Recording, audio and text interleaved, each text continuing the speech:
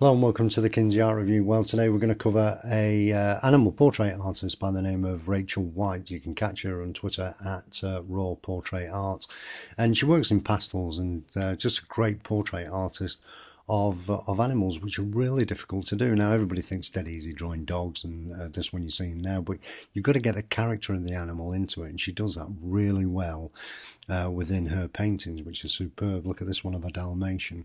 You know, you can almost touch it. She does these this process in pastels. The detail on it is phenomenal. Really great uh, practitioner of her art, of that there is no doubt. And if you're one of these people who contracted to her to produce one of these paintings, you'd be over the moon with it at the end of the day. Look at these are the horses.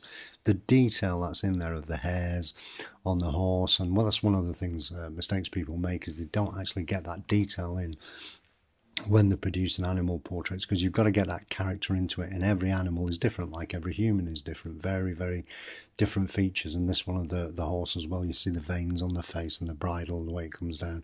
Just beautiful beautiful rendition of paintings. And I just thought I'd throw this one in because you can see how the, the the finished reproduction is when it's framed. It's absolutely superb. You'd have one of these hanging on your wall if you had your dog or your horse painted or whatever so brilliant. But and as I'm a big dog lover I love these dog portraits that she does, uh, and it's it is just getting that character into the face and and doing. I've just started doing some portraits of animals myself. It's really difficult to do to actually capture uh, that character of the animal. Each one of them is individual, and this one of the of the of the bulldog is just just brilliant. It's just capturing that feel and that look. So she's a great uh, great artist, great animal portrait artist. Lots of strings to her bow. If you get the opportunity, check her out at Raw Portrait Art on Twitter.